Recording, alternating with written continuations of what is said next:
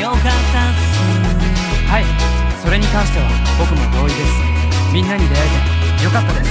こらこっちなんだかんだであの日々は今もずっと目の中特別なんだ。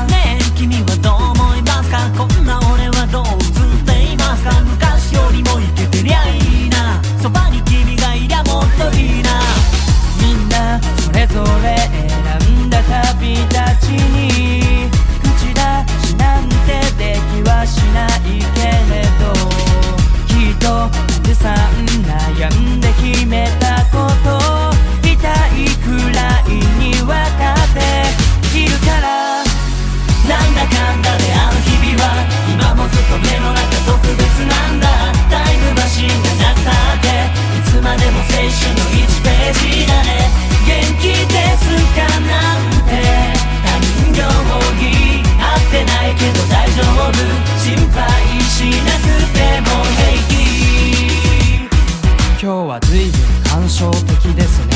君の方がちょっと心配です。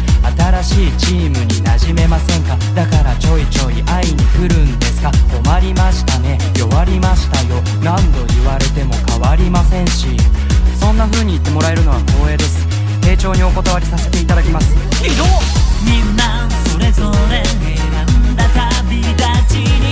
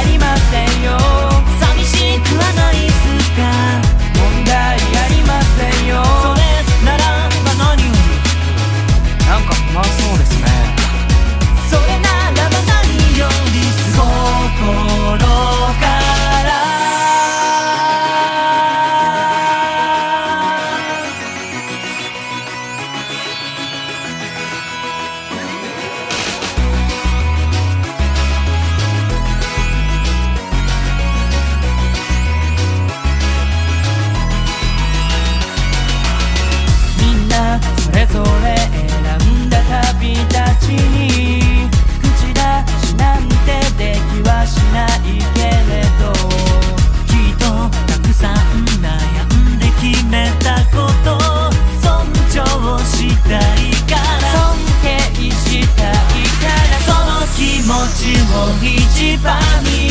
ウォンウォン。と考え直しません。俺もかなりやれる。しつこいです。でもきっと楽しい。かもですねじゃあ少しは脈ある？待てないです。ひどい。ちょっとくらいはありえません。俺も成長して。知ってます。だからきっと楽しく。帰りますミスディレクションやめて。